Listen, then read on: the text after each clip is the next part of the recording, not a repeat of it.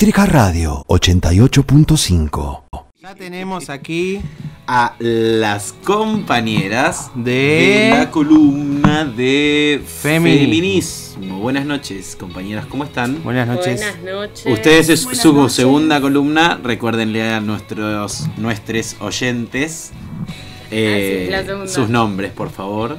Mi nombre es Lucía. Mi nombre es Lupe. Ahí está. A ver, otra vez. Lucía.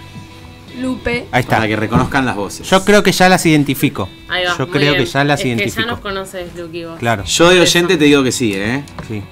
Ahí vamos. ¿Cómo Ahí les va. va, compas? Muy bien, ¿a ustedes? Bien, muy, bien. Muy bien. ¿Qué nos trajeron hoy para alumbrarnos?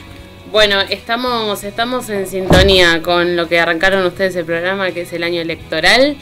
Y sí, creo que lo nombraron, que esta, esta semana se presentó la plataforma electoral del Frente de Todes, todas, todos, eh, encabezada por Fernández y acompañada por Fernández.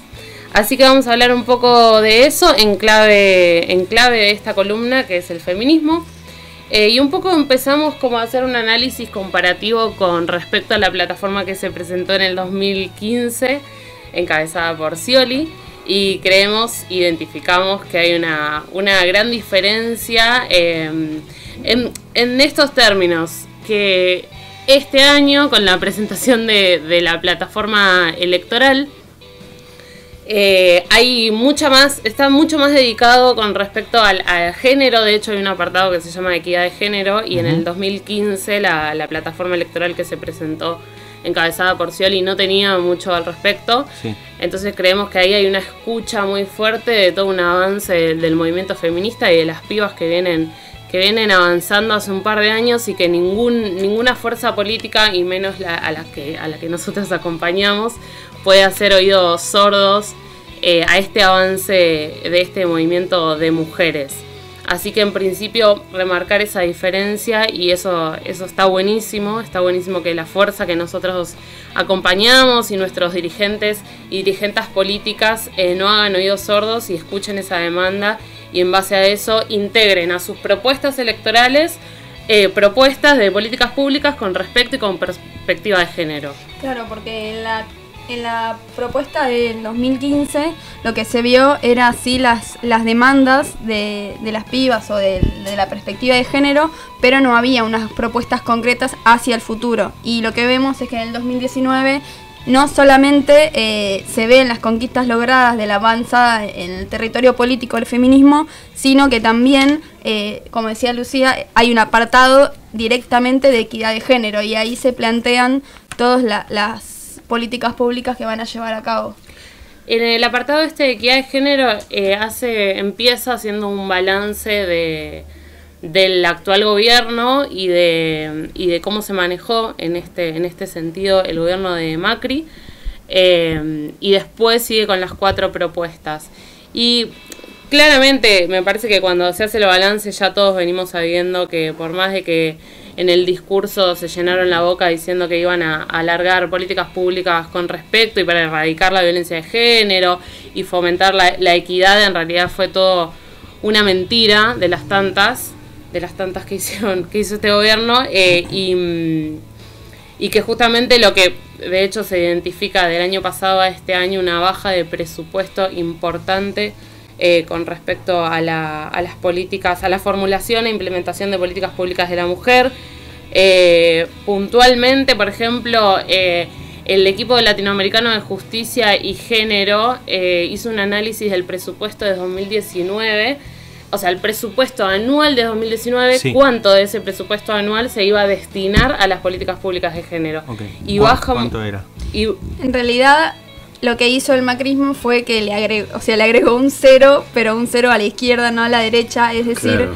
eh, antes se destinaba un 0,006 al pues- presupuesto nacional y para el 2019 representa un 0,00005%. Ok. Sí, todo eso con respecto a eso, ¿no? A la prevención, a la atención y erradicación de las violencias contra las mujeres. Eh, en principio, bueno, con ese balance estamos totalmente de acuerdo y acompañamos y creemos que, estos tipos se tienen que ir. Entre todas las cosas que se vienen hablando en este programa siempre, este es un motivo más eh, para que se tomen el palo. Y después vienen las cuatro propuestas eh, que haría el frente de todes, todos, todas, todos, como, como le queramos llamar. Sí, que te iba a Eh, preguntar cuáles eran, porque dijiste las cuatro va, y va. ¿cuáles son? Va, Sí. Vamos a hacer, eh, vamos a leerlas, son cortitas y después nos vamos a centrar puntualmente en la cuarta, porque, porque es la que más nos interesa. Eh, la primera dice asegurar el cumplimiento de los marcos legales existentes destinados a igualar derechos de las mujeres y de las personas de diversas identidades sexogenéricas, cuyo ordenamiento se basa en las convenciones internacionales, tratados internacionales, etc., eh, relativos a identidad y diversidad. La segunda propuesta, la segunda propuesta que hace el Frente Es impulsar políticas con perspectivas gene- gener- generizadas de modo que se asegure la equidad de todos los organismos públicos, cualquiera sea su índole, índole, promoviendo la integración paritaria en todos los cargos, especialmente en los referidos a dirección, conducción y planificación estratégica. De esto último, justo no sé si recuerdan que hablamos la columna anterior que nos interesaba hacer hincapié en que las mujeres no tenemos que estar excluidas, sino que tiene que haber políticas de integración en esos espacios de dirección Sí. eh, y de conducción, ¿no? Porque si No no, solo se- que sean un número ahí eh, figurando, sino que efectivamente tengan Una participación participación activa, y, Claro. y- y poder de toma de decisiones. Claro, Tal cual. Exactamente. de la, que, efectivo. de la que siempre fuimos como mujeres eh, excluidas, ¿no? Sí, como dice acá, no solamente del terreno político, sino también del terreno laboral, Claro. eh, como dice, o sea, el salario de las mujeres que es mínimo o menor al del hombre, etcétera. Sí. Como que hay un montón de cosas que se llevan a cabo eh, de, de desigualdad entre la mujer y, y el hombre en la sociedad. El tercer, la tercera propuesta que hace el Frente es promover reformas legales con el objetivo de asegurar equidad de género en el, en el mercado laboral, disponiendo incluso eh, eh, me- de medidas fiscales para garantiz- garantizar la igualdad de trato y de oportunidades, de modo que puedan erradicarse las eh, ominosas brechas diferenciales existentes. Bueno, esto que decíamos hace un rato, del mercado laboral, el, el terreno político, todas las diferencias que se van llevando a cabo, ¿no? Y el último, y que acá hacemos un parate, un toque, dice proponer reformas legales y normativas para garantizar la autonomía reproductiva de las personas gestantes. Extinguir el flagelo de la violencia con un amplio despliegue de programas preventivos. Mantener el régimen jubilatorio para más de casa. Ampliar la participación política de las mujeres y comprometer la participación del Estado en las eh, labores de cuidado. Bueno, la primera que es, eh, que tiene que ver con la autonomía reproductiva de las personas gestantes, nos parece súper interesante que en un contexto desde el año pasado hasta ahora que se viene discutiendo en Congreso eh, el derecho del aborto seguro, legal y gratuito, creemos eh, súper importante que eso, que no, que, que se ponga bien claro eh, esta autonomía de las, de las mujeres y la libertad de decisión, pero sobre todas las cosas porque sabemos que el aborto hoy existe, que es una cuestión de privilegio y que fomenta las desigualdades, las Tal pobres cual. mueren y las ricas sobreviven. Ese es el punto. eh, que no, sí. No, y bueno, siguiendo con un poco esta temática o estos lineamientos, en el, uno de los, de los últimos puntos que también discuten en la plataforma es eh, mantener el régimen jubilatorio para las amas de casa, el cual leímos hace un ratito, y mm, está también la, la diferencia con el actual gobierno que anuló eh, la moratoria para amas de casa y lo suplementó por una previsión universal de los adultos mayores.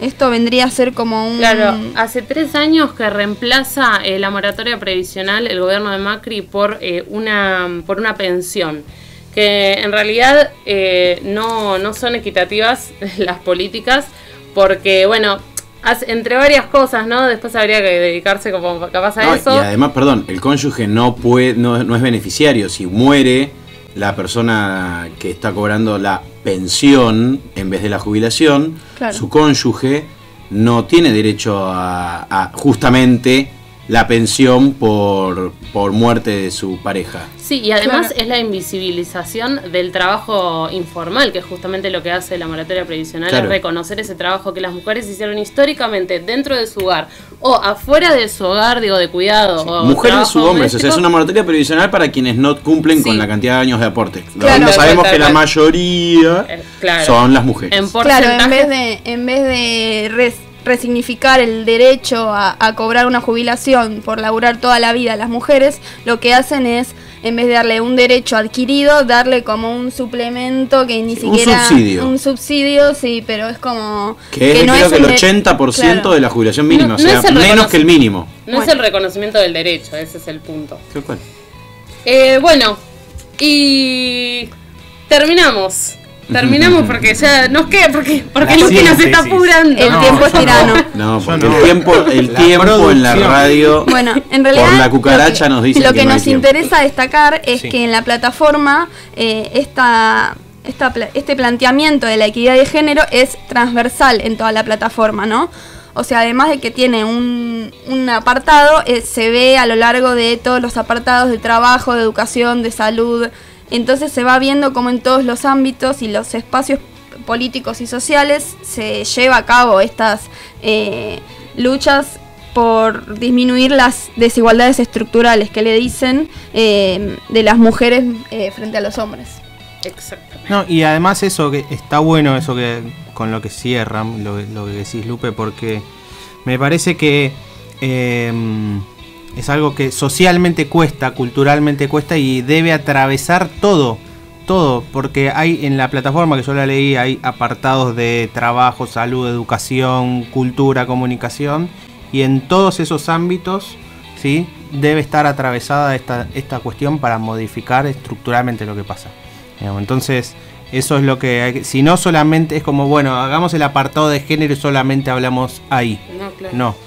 Eh, así No, que no, bueno, eso, muy en bueno. el discurso, sí, también con, sí, habla de ANSES de las, de las mujeres, como Claro. puntualmente. Muy está. bueno que no, que no, que no queda solamente ahí. ¿Algo más que nos quieran contar? Podemos hacer una lectura de. Una brevecita. Son cuatro renglones. Sí. de ¿Cómo una no? parte de, la plataforma. Por Dice: supuesto. La crisis que afecta a las unidades domésticas, la pérdida de empleo, el incremento de la violencia en todos los órdenes de la existencia, la discriminación en el mercado y los procedimientos institucionales violentos han aumentado las asimetrías producidas por el sistema patriarcal, sistema en el que reposa de modo decisivo la configuración social, condicionando las relaciones inequitativas de género. Y con eso, cita textual, eh, Sí, cita sí, textual. sí, De la plataforma del 2019 del Frente de Todos. Todas, Exacto. todes, todes. Que se pueden se puede consultar en la página web, Sí, ¿verdad? está- está en internet. Está en PDF. Circula. Así que a leerla, a leerla. Bien. Bueno, muchísimas gracias como siempre. Gracias, Quédense. Lucía, Gracias. gracias, Lupe. Quédense. Gracias a ustedes, compás. www.citricaradio.com Cítrica Radio